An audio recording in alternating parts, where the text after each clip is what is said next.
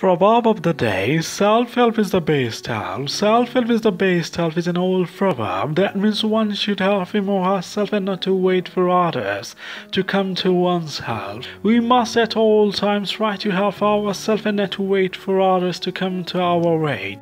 When we put in our best efforts, you can be rest assured that our problems will be surely solved with some good portions or external process. Instead, if we are lazy and expect others to understand our problems or come to our aid, we never overcome our obstacles.